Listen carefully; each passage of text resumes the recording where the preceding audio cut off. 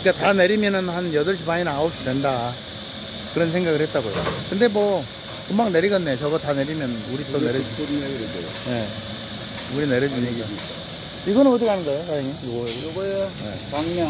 어, 광명. 아, 광명은 시간이 없겠네. 그냥 가는 대로, 예.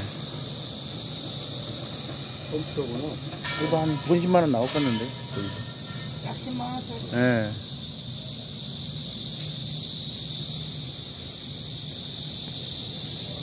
그것도 안 줄라 그래요. 10만 원도 안 나올라 그래. 10만 원 밑으로 되는 건안 잡고. 예. 뭐래. 여기 와서 잡아도 기도는 주는데. 와서 가도 기도는 주는데. 나는 내려갈 때가 지금 더 많아요. 아, 부산 차세요? 거기? 네, 부산 차예요. 부산 차예요? 아유, 당연하죠. 길에서 많이